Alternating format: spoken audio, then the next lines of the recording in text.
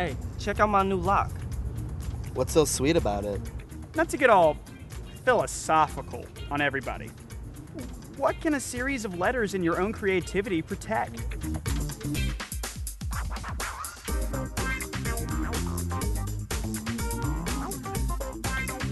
All of your sweetest and important stuff. You see, I can use a word instead of numbers as my combination on my Master Lock 1534 password lock. Word.